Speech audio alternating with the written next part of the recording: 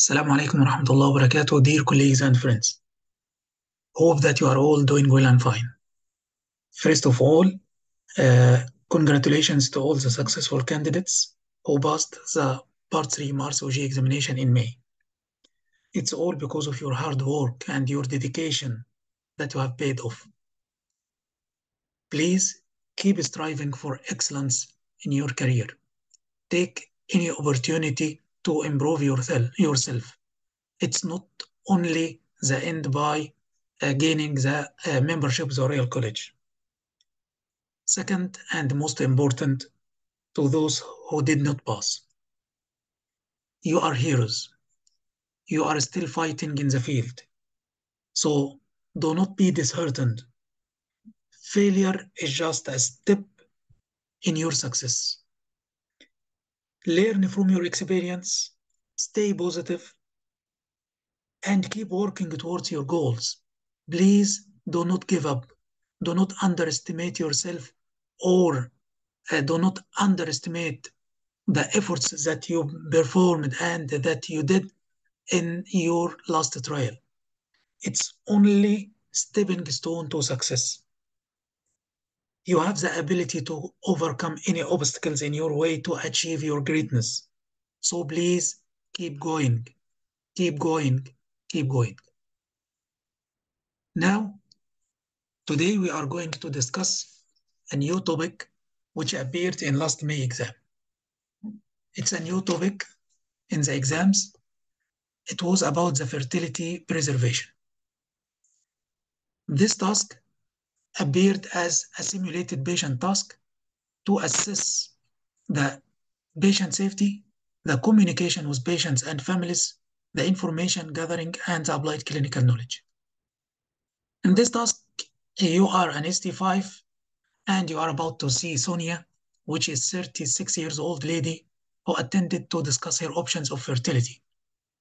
You are provided with a copy of the GP letter and you have 10 minutes during which you need to take as usual targeted history to explain to Sonia her options for fertility preservation and the pros and cons of each option, to outline and agree a management plan with her, and as usual, answer the patient concerns, which is a very critical part in any task. So the GP letter, it is telling you that you need to see this 36 years old lady who wants to discuss her options for fertility preservation. She's in a new relationship and she's not planning uh, a pregnancy at the mon moment. Her periods are regular and she did luteal phase progesterone, which confirmed that she's ovulating and she has no past medical history of note.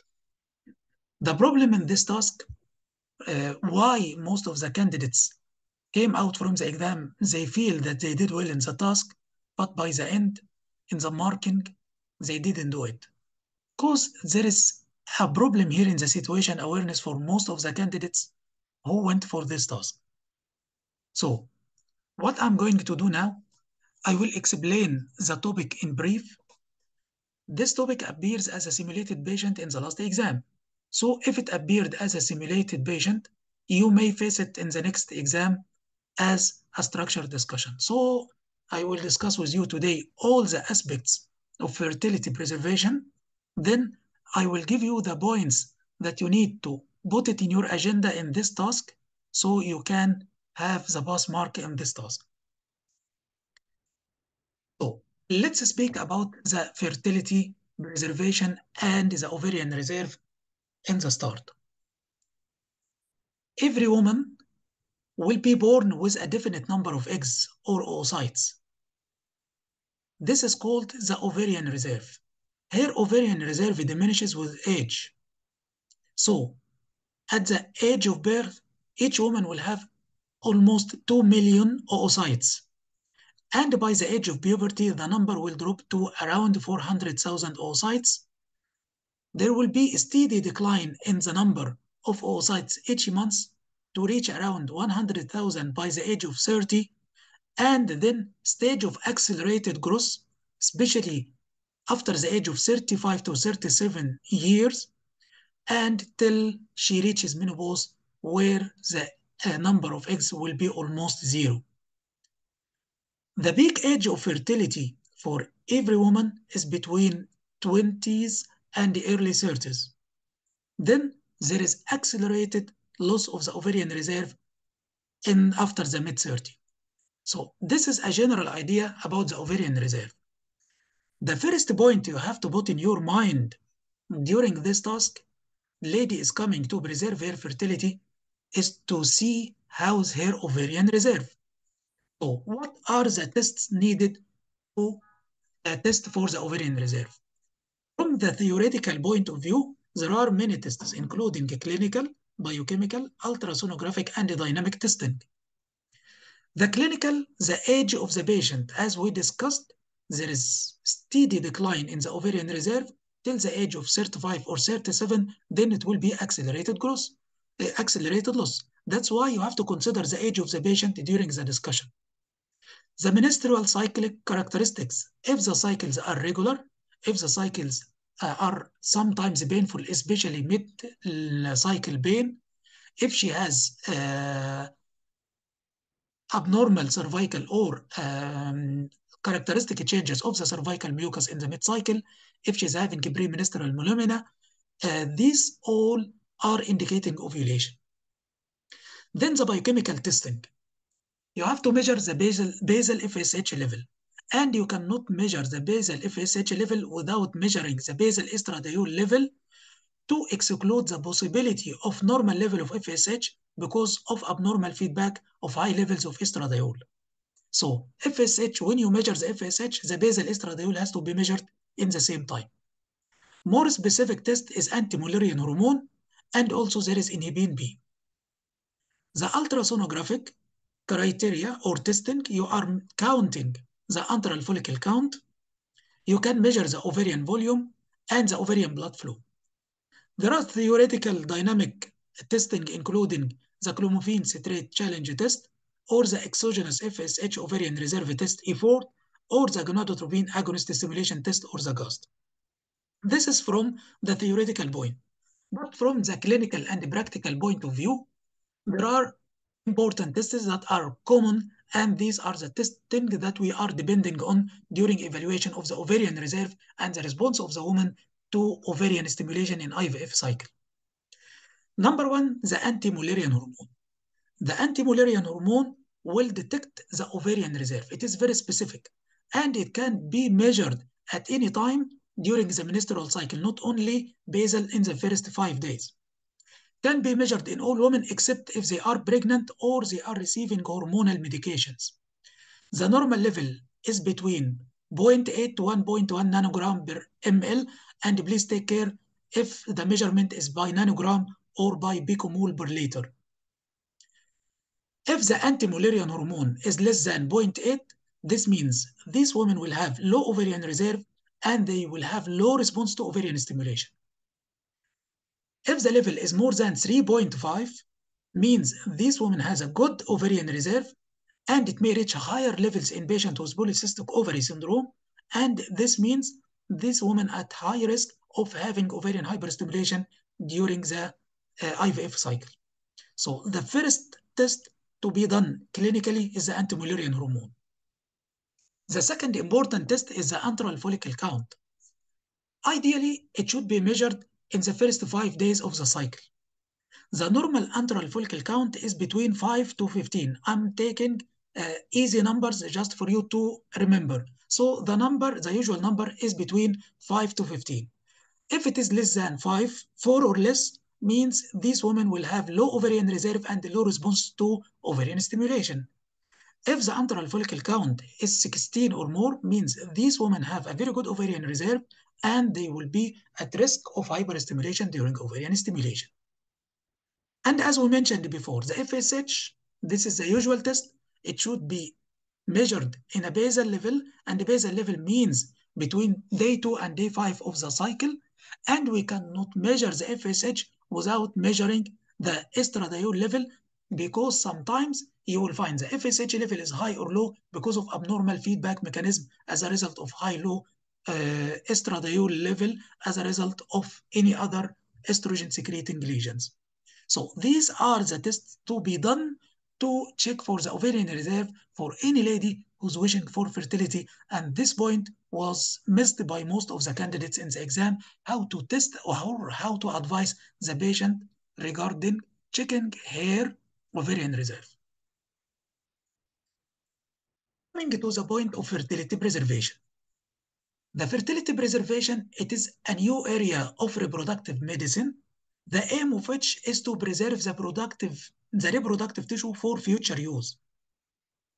There are indications for fertility preservation. What are these indications? And we will discuss it one by one.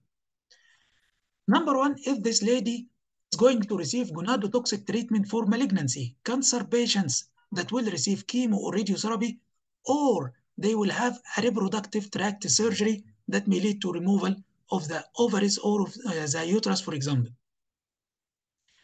Some ladies with genetic conditions, especially abnormalities with the X chromosomes in Turner syndrome, fragile X premutation, or X chromosome abnormalities, these ladies will have, will have problems with fertility and ovarian failure. This lady are going for surgery of the reproductive tract, like, for example, in non-malignant lesions like endometriosis, or for malignant lesions like ovarian or cervical or endometrial cancers. Also, fertility preservation is indicated in autoimmune conditions like oophoritis or connective tissue disease. And the new indication is a preservation of fertility for social indication.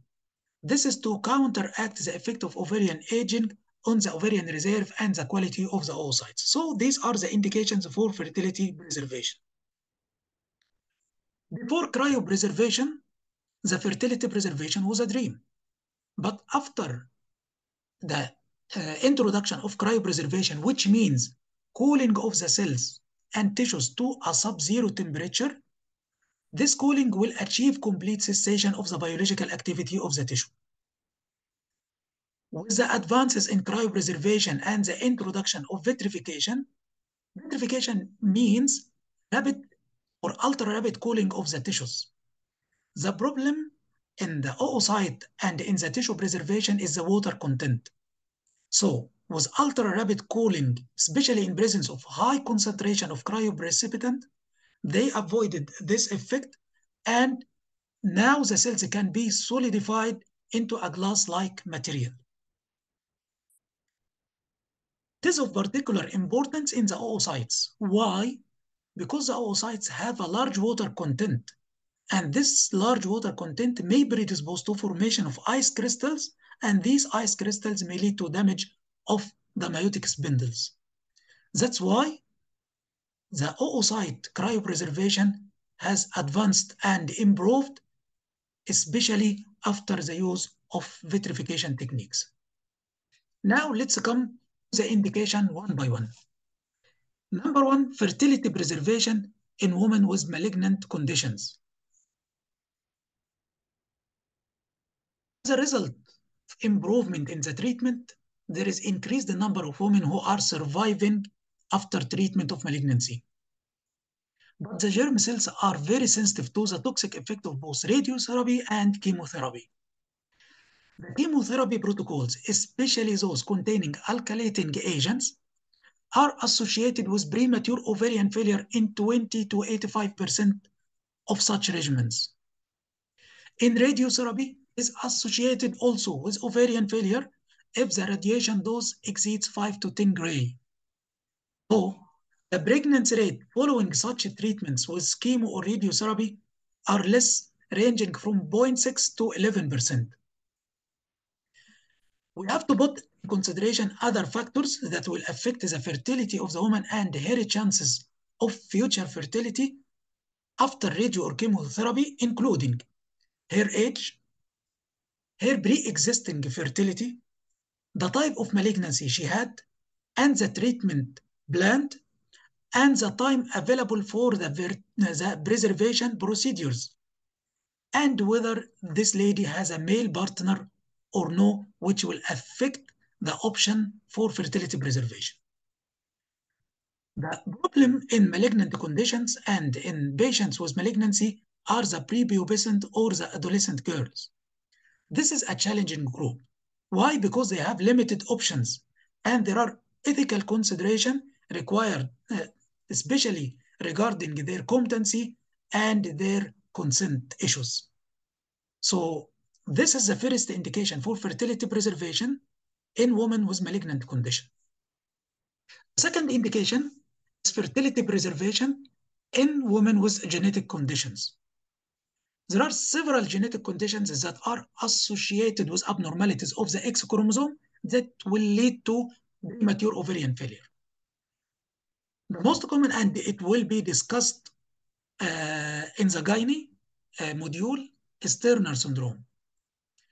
Turner syndrome, there is a known association of Turner syndrome with premature ovarian failure and infertility. Most women with Turner syndrome will have ovarian failure at a very young age and they will not show any identifiable ovarian function. But in cases of mosaic Turner, there is possibility that these women will have functioning ovaries and these women will have the chance to seek for the option of fertility preservation before they develop premature ovarian failure at an early age. The second genetic abnormality is the fragile X syndrome or the fragile X premutation. There is abnormality in the DNA, so there is unstable CCG triple sequence mutation. It is present in the long arm of the X chromosome, and these ladies will have premature ovarian failure in 21% of the condition compared to only 1% in the general population. So, in principle, or in general, fertility preservation for women with genetic condition is possible, but it is not without controversy. Such women are at increased risk of aneuploidy in the offspring. With the development of the PGD, it helps to avoid this risk, but it doesn't eliminate the risk completely. And in Turner syndrome, these ladies will have associated medical comorbidities that may be contraindication to pregnancies. These ladies will have some cardiac issues, uh, like, for example, dilatation of the aortic root, that may be an absolute contraindication for pregnancy. So it's not only about the fertility preservation, it's also about the suitability of the lady to get pregnant later. So any decision regarding the future pregnancy in these ladies has to be considered after proper counseling of the lady. So now we discussed the fertility preservation in malignant conditions and fertility preservation in genetic conditions. Now fertility preservation in non-malignant disease. Most common in these cases is endometriosis. Any ovarian surgery will be a risk factor that may lead to diminished ovarian reserve. Studies about endometriosis specifically showed that there is a lower ovarian reserve after ovarian surgery for endometriosis. This may be due to incidental incision of normal ovarian tissue or damage of the ovarian tissue by the excessive use of electrosurgery. That's why it is a medical legal point now to assess the ovarian reserve before and after the surgery to search for the effect of the surgery in the ovarian reserve and in IVF cycles. Now it's recommended not to treat endometrioma before the cycle because it affects the ovarian reserve. The fertility preservation procedures, therefore, are considered in this complex and repeated ovarian surgery, especially in women who are requesting fertility or conception in the future. So the first non-malignant disease is endometriosis. There is also other non-malignant condition that require treatment with chemotherapy or radiotherapy like autoimmune disease or hematologic, hematological condition. So also fertility preservation has to be considered in these ladies. So we discussed fertility preservation in malignant condition, fertility preservation with the genetic conditions, and fertility preservation in non-malignant disease. These are all are not the case in our task. The case in our task is a lady who's coming asking for fertility preservation for social reason. This is non-medically indicated fertility preservation reason. So the task will speak about the next points. So in the today's society, ladies are businesswomen. They are busy with their increasing professional and financial opportunities. So they may think about delaying childbearing. But delay childbearing, childbearing, this will affect the woman's opportunity for pregnancy. The ovarian reserve, the ovarian number, the oocyte number and quality will be decreased with age. That's why fertility preservation is an evolving technology that offers the potential for this lady to combat infertility secondary to ovarian aging as a result of delaying their pregnancy. These ladies, what are the options of fertility preservation? And these are the options that will be discussed here in this task. So the first option is embryo cryopreservation. This is an established method of fertility preservation. It is successful and safe. And this is reported from the routine use of embryo cryopreservation in IVF cycles. It provides the woman with a good chance of future pregnancy, but it will be based on the number and the quality of the embryos preserved, as we mentioned before. 2011, American Society of Assisted Reproductive Technology confirmed that the pregnancy and live birth rates are comparable between frozen and fresh embryo transfer. So they are almost the same. Fresh and frozen embryo transfer regarding the pregnancy. The pregnancy rate in frozen embryo transfer was almost 45%, and it was almost 44% for fresh transfers. And regarding the live birth rate, it was 34.5, or we can say 35% for frozen, and it's also 35% for fresh transfers. So the, according to the American Society, there is no difference in the pregnancy and live birth rate when using fresh and frozen embryos. The UK, HFEA or Human Fertilization and Embryology Authority, they reported success rates which are slightly lower when comparing frozen to fresh embryo transfer. 2011, the pregnancy rate was almost 25% for frozen and it was 34% for fresh transfers. I'm taking solid numbers just for you to remember. So the success rate is there, but it is lower in frozen than in fresh embryo transfer. So the main issue in embryo cryopreservation is the lady will go through the process of IVF. So she will go through ovarian hyperstimulation, then oocyte retrieval, and fertilization. So fertilization will need male gametes. And the male gametes, there should be a male partner, either regular partner or if she's in a stable relationship, or sperm donation if she's not in a stable relationship. So the problem here will be an ethical consideration and legal problems regarding if this lady she had embryo cryopreservation and subsequently she has another partner or she is with the same partner so the partner here has an autonomy. So he has a part of the decision making to the use or discarding of these gametes. So this is a big issue that has to be mentioned here in the task. If the lady is not in a stable or in a new relationship like in the task you have to consider that or to um, discover that this lady is not willing to get pregnant now, this is a new relation. She's not in a stable relation. So embryo cryopreservation will not be an attractive option for her because of the legal and ethical issues regarding the consent for the partner and his autonomy regarding the use or discarding of the embryos which were cryopreserved before. So the second attractive option in this case, especially in ladies without a partner or ladies who are in a new relation which is not stable yet, will be oocyte or egg cryopreservation. As we mentioned before, the problem before with oocyte cryopreservation is the large content of water in the oocyte and the formation of ice crystals with the traditional slow freezing. But with the development of vitrification technique, results dramatically improved. In 2012, the American Society of Reproductive Medicine approved oocyte vitrification for fertility preservation and they proved that it is safe and effective technique.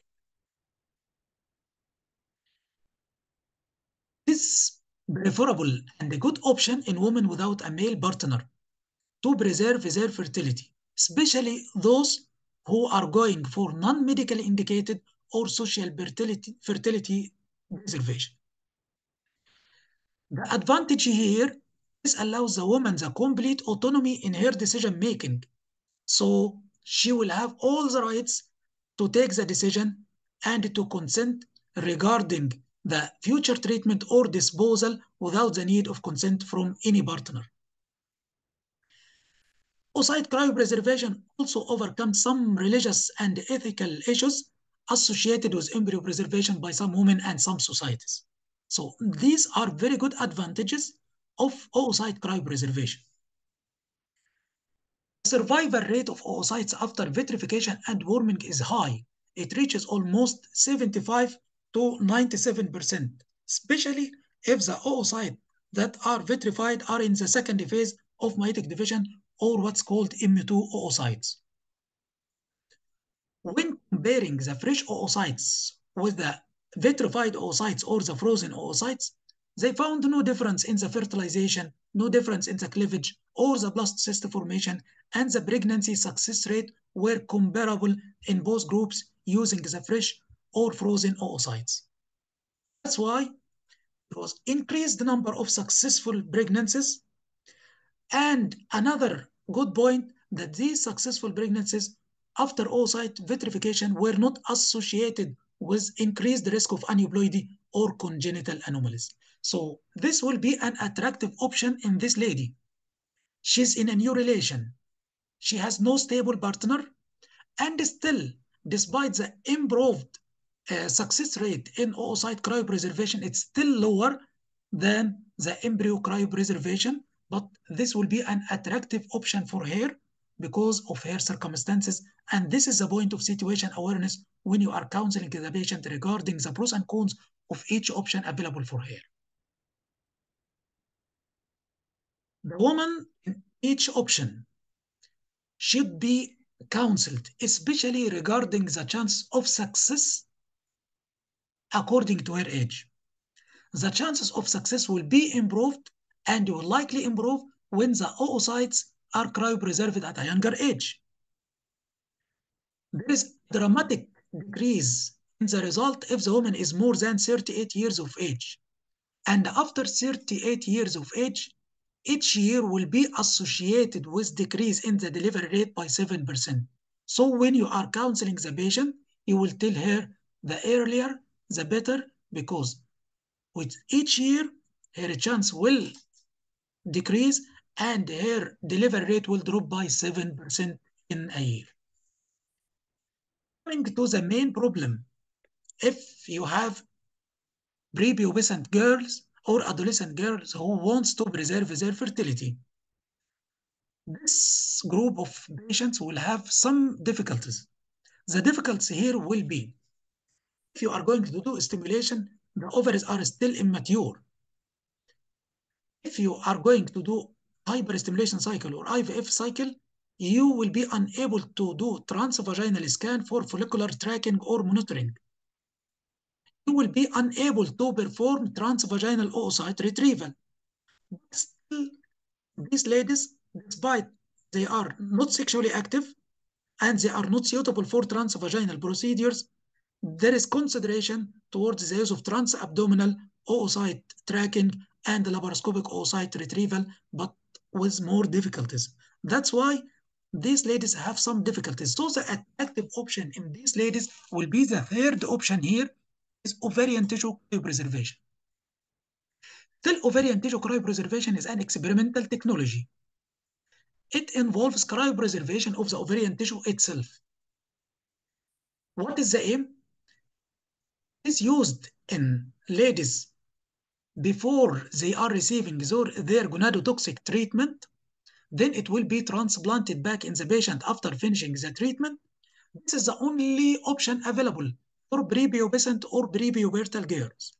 And it is an, an option for some older ladies who are not willing to undergo an IVF cycle with ovarian stimulation or oocyte retrieval. So the main indication for women going for gonadotoxic treatment for prepubescent girls and for women who are not willing for IVF cycle.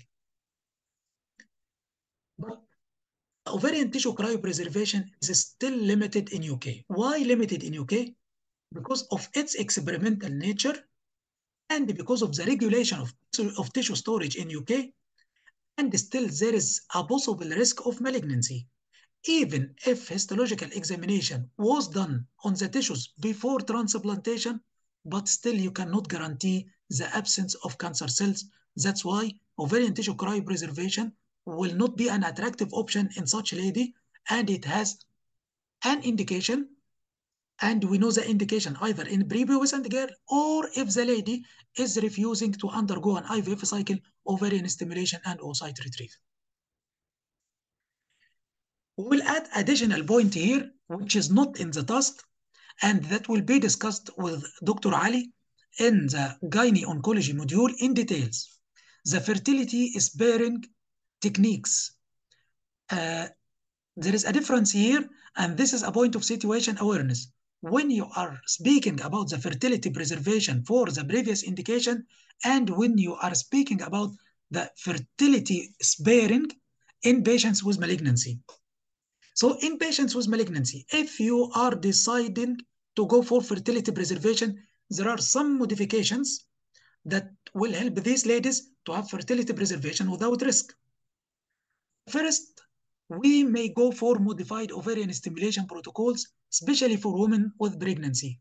What are the modifications that we are used for the ovarian stimulation? Usually, these ladies are recommended to go for a single IVF cycle. Sometimes they can go for repeated cycles, but the recommendation, the general recommendation is to go for single cycle. Use the GnRH antagonist protocol in these ladies to minimize the time of the cycle and to minimize the interval between fertility preservation and the start of their cancer treatment. Here, you don't want to, to stay or to uh, wait for the start of the cycle as the traditional protocols to start ovarian stimulation. Here, you can use what's called random start cycles as an emergency measure. So you can start stimulation at any time during your period. You can use modified stimulation protocols using some other medications other than the gonadotropins, like aromatase inhibitors and tamoxifen. Aromatase inhibitors and tamoxifen are important and very useful, especially in ladies with estrogen-sensitive malignancy. Ladies with breast and endometrial cancer, we can modify the stimulation protocol using the aromatase inhibitors or tamoxifen. We can use in vitro maturation of the immature oocytes. As we mentioned before, ovarian tissue cryopreservation followed by ovarian tissue transplantation after finishing the gonadotoxic treatment. There is an option of suppressing the ovarian function using the GnRH analog during gonadotoxic treatment. This option has still some debates. And the other option is to do ovarian transposition to uh, put the ovaries away from the field of radiotherapy at least three centimeter above the field of radiotherapy. This option also is an option in patients going for radiotherapy. Fertility is sparing surgery. How to spare the organs during treatment or during surgery for cancer. For example, in cases of cancer cervix, if it is stage 1A, you can do only LLETZ or cone biopsy. If it's stage 1A2, where the tumor size is small, less than 2 centimeter, in stage 1B1, it can be treated by trachelectomy. But if it is stage 1B1 with a small stage, you can go for radical trachelectomy, the same as in ovarian cancer. if it is stage 1A or 1B and well differentiated, you can go for conservative surgery by doing unilateral salpingo-oophorectomy. And, uh, you can avoid the traditional uh, survive, uh, sorry, the traditional staging procedure that's done in cases of ovarian cancer by using unilateral salpingo-oophorectomy. Final option for fertility preservation in patients with malignancy or fertility sparing is to go for surrogacy and uterine transplantation in patients with congenitally absent uterus or in uterus which was removed because of cancer or because of any other lesions. Again, this part of the fertility sparing surgery will be discussed in details by Dr. Ali in the gynae oncology module. So, in conclusion, we will go through the flow chart of how to preserve the fertility in uh, or preserve the reproductive tissue.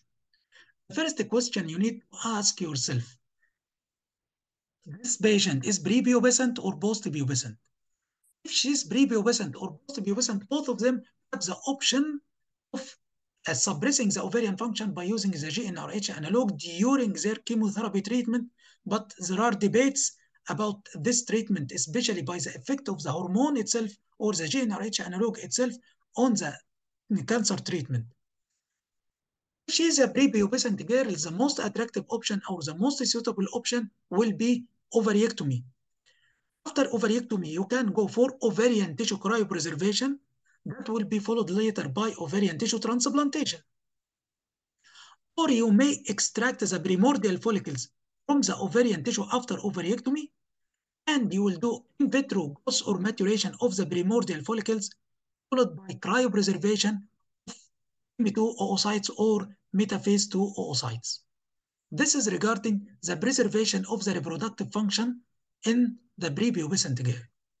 If a post-pubescent girl, as we mentioned, the GnRH suppression therapy, but again of doubtful benefit, he can go for ovariectomy, he can go for IVM or in vitro maturation of immature oocytes, or you can retrieve the mature oocytes. These are the options of the post-pubescent girl or adult woman. So, if you do ovariectomy, again, you will do ovarian tissue cryopreservation followed by ovarian tissue transplantation, or from the ovarian uh, tissue that you uh, that you already preserved, you will take primordial follicles for in vitro maturation or in vitro maturation of the oocytes itself. If you have mature oocyte retrieved, which is metaphase 2 or M2 oocytes, you will ask yourself, this lady or this patient has a male partner, so best option for her will be embryo cryopreservation. If she has no male partner, in this case, the oocyte cryopreservation will be the most attractive option for her. So this is the conclusion of this topic today. Now, situation awareness. Let's go back to the task here. You have two minutes. During the two minutes, your situation awareness and your understanding of the task will make a great difference between you and any other candidate. So this lady is 36 years old. So she's in a dangerous stage of her life because she is now in the accelerated phase of losing her ovarian reserve. She is here to discuss her fertility options. In the GP letter, she's in a new relationship. Big alarm here. And she's not planning for pregnancy at the moment. At the moment, another alarm. She's having regular periods and the luteal phase progesterone confirmed ovulation. Regular periods is a good sign that she's having a good ovarian reserve and she's not in the perimenopause stage. So you have to think about the perimenopause. You have to ask the lady about the symptoms of climacteric. If she has any family history of premature or uh, premature ovarian failure or premature menopause. Luteal phase progesterone itself, it confirms ovulation, but it doesn't confirm anything about her ovarian reserve. So, the key points in this task. How to pass this task and to avoid failure. First of all, you have to discuss with the lady the methods of assessment of her ovarian reserve. you have to tell her that progesterone itself, it confirms ovulation, but it doesn't give us any idea about your store of eggs, your ovarian reserve. And you have to offer her the clinical or the practical testing for the ovarian reserve, as we mentioned before, including the anti-Mullerian hormone, the antral follicle count, and the FSH together with basal estradiol. The options here will be only limited to embryo cryopreservation, oocyte cryopreservation, and ovarian tissue cryopreservation. So these are the options for this lady, and you have to discuss the pros and cons of each option as we mentioned before. This task, you have to discuss the point of autonomy and partner role in decision making in each option, especially in the option of embryo cryopreservation. This lady is a new is in a new relationship. She's not willing to get pregnant now. So, despite embryo cryopreservation is more successful, but oocyte cryopreservation would be more attractive in this case. So, embryo freezing is not the option for this lady. You will discuss the option, but you have to elicit the fact that the lady is not keen to have embryo freezing because she's in a new relationship. Have to discuss the success rate freezing or oocyte freezing. It is significantly improved, but it's still, it is not good as the embryo freezing with the uh, pregnancy success rates of around 25 to 35%. Very important point that was not mentioned by most of the candidates, the funding. This is an elective procedure. Either embryo freezing or oocyte freezing will not be funded by the NHS. So this is a point that has to be discussed with the patient during counseling. Patient is coming in a new relation and she's not willing for a pregnancy at the moment. To forget to counsel the patient about contraception will be a big failure in the safety here. So this is another point of situation awareness. When you read in the GP letter that the lady is in a new relation. And she will tell you during the discussion that she's not willing to get pregnant now, this is a new relation, she's busy with her career, so you have to consider giving her a safe and reliable contraception method that will not affect her fertility, so you will discuss with her the long-acting reversible contraception plus condom. Condom has to be there plus the additional contraception. Condom here is to protect her from sexually transmitted infection because she's in a new relation. If you manage mention these points during the 10 minutes, definitely you will have pass in this task. Most of the candidates, they went for the exam, they uh, were coming out from this task uh, satisfied with their performance. But when we discussed the situation awareness of the task, the view will change. So you will find all the details in the script, uh, in the PDF. You will find a complete template about this task in the PDF of the sexual and reproductive health, and we will discuss it. And one of the candidates will perform the task and will give the evaluation uh, regarding each domain of the task. So this is a very important task. It appeared in last May exam. You can expect it in November. You can expect it either a simulated patient task like the same, which appeared in May, or it may come as a structured discussion.